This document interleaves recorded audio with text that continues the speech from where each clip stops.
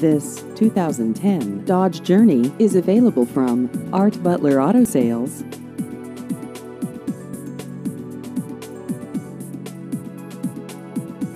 This vehicle has just over 21,000 miles.